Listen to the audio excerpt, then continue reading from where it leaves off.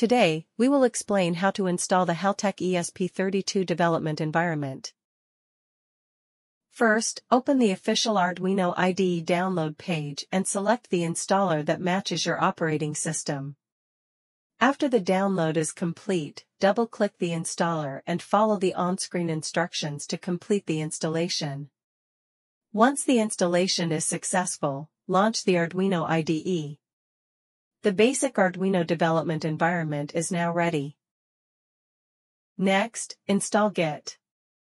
Go to the official Git website and download the installer that matches your operating system. Double-click the installer and proceed through the setup by clicking Next at each step. Once the installation is complete, right-click on your desktop or in any folder. If you see the option Git Bash here, it means Git has been successfully installed.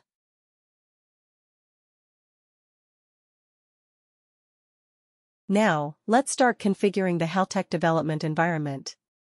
First, create a new folder named Arduino in the Documents directory. Inside the Arduino folder, create two subfolders, Hardware and Libraries. Open the Hardware folder and create a new folder named Heltec.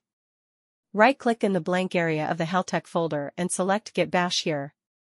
Then, go to Heltec's official Wi-Fi underscore kit underscore series repository, copy the repository URL, and clone it into the current folder.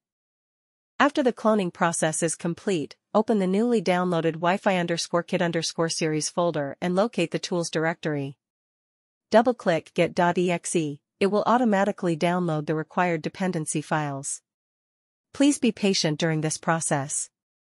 Once the program closes automatically, it means the download is complete, this is normal behavior.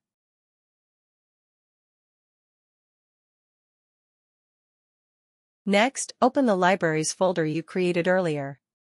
Right-click inside the folder and select Git Bash here, then clone Heltec's official Heltec underscore ESP32 repository. Once the cloning is complete, the Heltec core libraries and hardware support package will be successfully installed.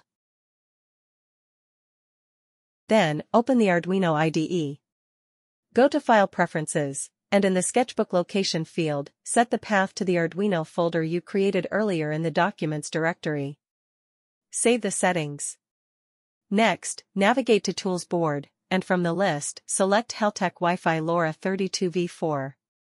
Then go to Tools port, and choose the serial port that corresponds to your device. After the configuration is complete, you can open an official example for testing and click Upload. If Arduino displays a message indicating that a library is missing, you'll need to install the Adafruit GFX library. Open the Library Manager, search for Adafruit GFX, and click Install. Once the installation is finished, upload the example program again, the code should now be successfully flashed to your development board.